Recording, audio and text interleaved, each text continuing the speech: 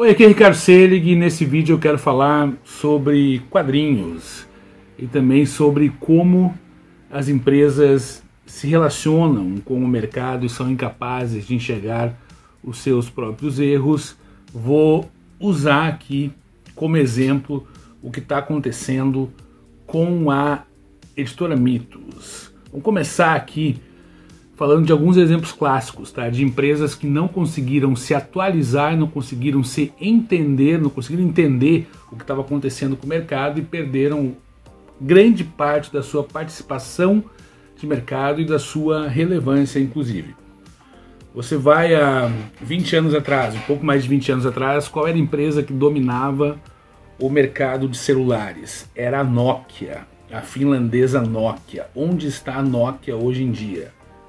Enfim, né, foi engolida pela Apple, pela Samsung e por outras empresas de tecnologia. E dentro desse assunto que a gente tem, estou conversando aqui com vocês, o mercado editorial, uh, é uns exemplos da livraria Saraiva, livraria Cultura, extremamente má administradas e com políticas predatórias em relação ao mercado e às editoras, e que deixaram de existir, praticamente deixaram de existir, entraram em falência, jogando a culpa na chegada da Amazon, quando na verdade essas empresas eram muito mal administradas com políticas de décadas anteriores e também não souberam se adequar ao mercado, tá? A Mitos Editora, ela tem um catálogo sensacional, tá? Penso eu que fora do catálogo da Panini, que tem ali daí Marvel, DC, Turma da Mônica, os materiais da Disney, Nenhuma editora tem um catálogo aqui no Brasil tão bom, tão profundo e tão legal quanto a Mitos. A Mitos tem o universo do Hellboy, o Conan da Dark Horse, que é considerado o melhor Conan já publicado em quadrinhos, todo o universo 2000 AD e o universo do Juiz Dredd, Ken Parker, que é uma obra-prima não só do faroeste, mas da vida, e muitos e muitos e muitos títulos da Bonelli, a casa da Bonelli aqui no Brasil, incluindo Tex. Que Tex começou a ser publicado no Brasil na década de 50 e desde aquela época, há mais de 70 anos atrás, é um dos quadrinhos, um dos títulos que mais vende no Brasil até hoje, tá? Tex, sozinho, é um dos quadrinhos mais populares da história da indústria de quadrinhos aqui no Brasil. A Mitos fez uma live semana passada informando lançamentos, mas principalmente cancelamentos de títulos para o ano de 2024. Então eles anunciaram cancelamento de Zagor série clássica e Zagor nova série, Martin Mister e Dylan Dog nova série, além de colocar três títulos muito celebrados, muito bons inclusive, Mágico Vento, Júlia, Aventura de uma Criminóloga e Dragoneiro, que vão continuar no catálogo, porém com lançamentos mais passados e estratégicos em 2024, meio que para testar o mercado, para ver se o mercado tem interesse em comprar esses títulos, tá? E a desculpa da Mitos, o que ela falou a respeito disso, é que a culpa é dos leitores, que os leitores não compram, então ela não vai publicar esses títulos. Só que o buraco é muito, muito mais embaixo. Para começar, os próprios leitores não conhecem esses títulos, tá? Porque a Mitos ela tem uma comunicação muito deficitária com o mercado tanto em relação ao marketing, que praticamente não existe, passa pela péssima distribuição, beleza, tá no site da editora, tá na, na Amazon, mas você sabe que tendo nas livrarias e nas bancas é outra experiência, tá? E é uma empresa que, de modo geral, é incapaz de perceber os seus próprios erros. É uma empresa negacionista que não consegue olhar para dentro e joga todo esse fracasso editorial, esse fracasso de vendas em quem não deveria jogar. Está jogando a culpa nos leitores quando a culpa é dela. Possui uma estratégia de publicação para lá de questionável, que há anos vem levando a essa diminuição de vendas e ela é incapaz de mudar essa estratégia de publicação, tá? Possui uma comunicação com o mercado absolutamente terrível e que demonstra um amadorismo assustador, tá? Essa live que foi feita para comunicar os lançamentos e os cancelamentos de 2024 contou com o marketing da empresa, um editor e um dos diretores. Cara, o diretor da empresa tava, aparecia numa tela verde com uma voz horrível que não dá para entender, parecia que estava sendo gravado dentro de um cano, Não sei onde que estava aquele cara que não, não entendia o que ele falava, e ele falava coisas muito importantes, como esse cancelamento, e o editor da, da empresa com a tela travada. Praticamente a live inteira, entendeu? Sendo que a Mitos, cara, vamos falar real, assim, sabe? A gente tem internet boa em praticamente todos os lugares do Brasil. E a Mitos não está no interior, ela está na maior cidade do país, está em São Paulo. Como é que não consegue fazer uma live? Não consegue fazer uma live decente para informar o mercado? Como que eu vou acreditar numa, numa editora que não consegue nem fazer uma live? Qualquer pessoa faz uma live com o celular hoje em dia, qualquer pessoa, uma criança faz uma live e funciona. E uma editora não consegue fazer uma live, não consegue uma live, como é que vai, fazer, vai conseguir publicar quadrinhos, cara? O que a gente tem na Mitos é uma mistura de arrogância com amadorismo, e isso é exemplificado através de diversas atitudes da empresa. Um dos diretores publicou, divulgou uma nota para o mercado que circulou por todo mundo que está aqui no universo de quadrinhos, culpando os leitores. Errado, errado, não admitindo os próprios erros da empresa. A culpa é dos leitores, só dos leitores, não é de nada da estratégia comercial, de comunicação, de marketing, de rede social da Mitos. Tudo isso é ignorado pelo cara, mas a culpa é dos leitores. Demonstrou uma arrogância, assim, porque tem várias editoras, como esses títulos vão ser cancelados pela pela Mitos, tem várias outras editoras menores que já publicam material da Bonelli aqui no Brasil e que estão de olho nesses títulos. Isagor, Dylan Dog, próprio Mágico Vento, que não foi ainda cancelado, estão de olho nesses títulos, Dragoneiro também. E o cara vai lá e diz que só a Mitos pode publicar porque ela tem uma qualidade inigualável. E qualquer pessoa que acompanha o mercado de quadrinhos sabe que isso está longe da verdade. Tem vários problemas editoriais em vários títulos da Mitos, tá?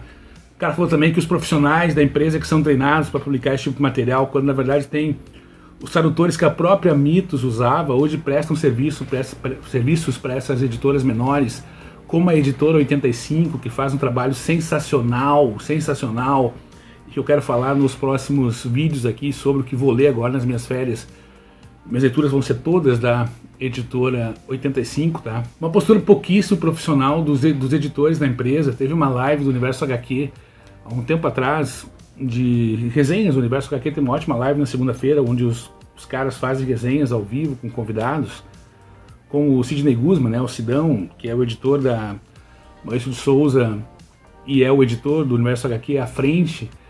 E daí ele fazendo uma ele fazendo um review de Lost Girls, uma das obras mais celebradas do, do Alan Moore, que foi relançada pela Mitos, e a Mitos teve um erro editorial gravíssimo em Lost Girls, alterando a virada de página, sendo que a virada de página é essencial para o entendimento, para o ritmo da leitura de Lost Girls, tipo a página que estava, vou pegar um exemplo nesse X-Men aqui, só para exemplificar. A página que estava aqui foi passada para cá, então isso alterou o modo como o Alan Moore pensou a obra e o modo como a gente devia ler como leitor, entendeu? O Sidney criticou isso de forma justa e o editor da Mitos vai no chat, no chat da live, começa a bater boca, como se fosse um menino mimado de 12 anos que não aceita crítica e baixa o nível de uma maneira maneira cara inacreditável naquele chat, o que leva daí a uma reação mais incisiva do Sidão e de forma correta, entendeu? Isso demonstra a arrogância da empresa não admitir o erro que cometeu e o amadorismo de um profissional que é editor de quadrinhos em bater boca com um dos principais nomes do quadrinho brasileiro. Cara, um, um absurdo que o cara fez ali. A incapacidade de se comunicar com o mercado, com uma comunicação em redes sociais para lá de ultrapassado, uma linguagem de rede social para lá de ultrapassado, entendeu? Quando, gente, por favor, tá cheio de, de profissionais de social media disponíveis e com, com um ritmo, um entendimento muito mais jovem e atual do mercado para tomar conta e serem contratados e fazerem esse trabalho para vocês, é só brifar. O trabalho de social media, de redes sociais é essencial para a imagem de qualquer empresa hoje em dia, entendeu? Por que, que você acha que tem, tem editoras brasileiras têm um hype lá em cima, qualquer título as pessoas compram como se fosse incrível e tal, porque tem um trabalho de social media maravilhoso e a Mitos não consegue fazer isso. Além de tudo, como eu falei antes, não há marketing. Praticamente não tem investimento em marketing. Então, não só os leitores, como o mercado não ficam sabendo do lançamento e da existência desses títulos, tá?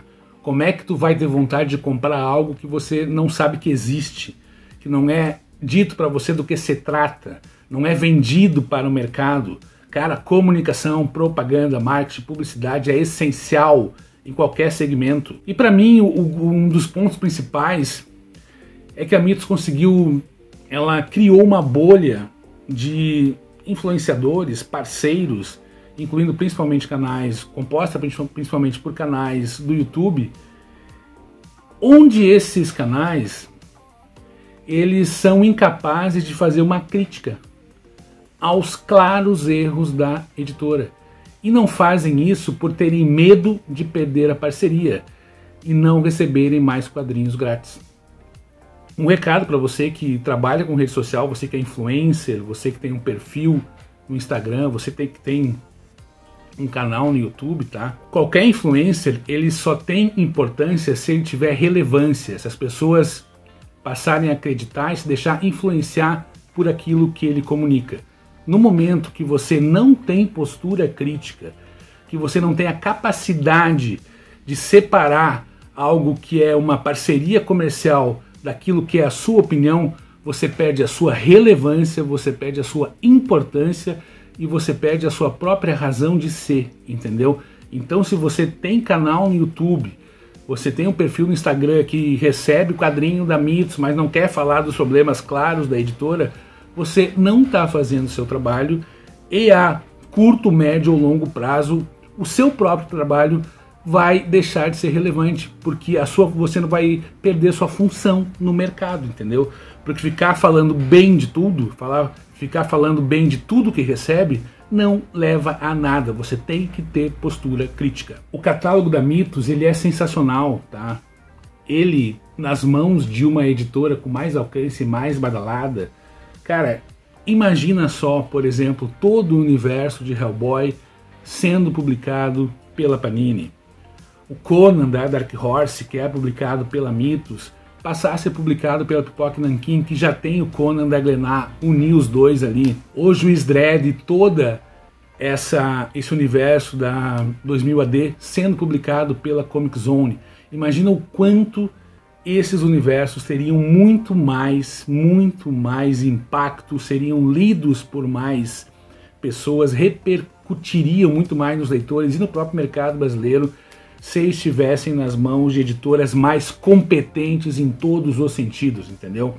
A Mitos ela é, como eu comentei, uma mistura, ela se transformou na verdade. Ela não era assim, mas ela se transformou em uma mistura atual de arrogância, amadorismo, prepotência e uma incapacidade total de perceber os erros que comete e joga esses erros para os leitores e não olha para dentro de si é uma editora totalmente negacionista que não consegue olhar para o espelho e ver que o erro para tudo que está acontecendo é ela mesma, entendeu? A Mitos ela só não deixa de existir porque ela tem um título, como eu comentei, que é um dos mais vendidos do Brasil há 70 anos, que é o Tex. Porque tudo que vem acontecendo com a editora e vem e esses problemas vêm se intensificando nos últimos anos, cara, ou essa empresa passa por uma reformulação total de cima a baixo, diretores estão ali muito tempo, mas já passou seu tempo, coloca outra pessoa para trabalhar, muda o departamento de marketing, muda os editores, muda tudo. Senão a Mitos vai virar uma Nokia dos quadrinhos, a gente nem vai lembrar mais que ela existia e não está muito longe disso acontecer, tá? Se as palavras foram muito fortes, muito incisivas, me desculpa, mas eu realmente não vi ninguém falando de forma tão clara e de forma tão que eu acredito que tenha que ser dito, entendeu? Para os profissionais da Mitos entenderem que precisam mudar muitas coisas na empresa e parar de jogar a culpa dos erros da empresa, dos erros dos seus profissionais, dos erros das suas estratégias no leitor, tá? Nós que estamos do lado de cá temos uma oferta enorme de editoras, inclusive uma bolha de editoras que eu acho que já está até meio passando do, do ponto, assim, porque é tanto título que você não consegue acompanhar nada. Realmente, a quantidade de quadrinhos publicados no Brasil hoje e com preços muito altos é assustadora. Então, para uma empresa sobreviver, ela tem que se atualizar, ela tem que entender o mercado, ela tem que entender os seus erros, ela tem que entender o leitor. E a Mitos é incapaz, se mostrou, né? Tem se mostrado a cada live dessas, não consegue perceber todas essas questões do mercado. É lamentável que uma empresa tão importante que tem um, um portfólio, né? Como eu comentei, não só isso, mas um histórico de publicações ao longo das décadas esteja passando por isso. Precisa mudar tudo na Mitos. Porque senão a Mitos logo logo vai, né? Enfim, não sei para onde vai. Era isso, gostou desse vídeo? Manda para os grupos aí, dá like, comenta, compartilha, coloca sua opinião aqui nos comentários, por favor, tá? E vamos ver, né? Se os editores e o marketing desta empresa eles serão profissionais ou vão, ou vão vir bater boca, né? Sei lá, até imagino qual vai ser a resposta a esse vídeo, mas deixa pra lá. Valeu e até.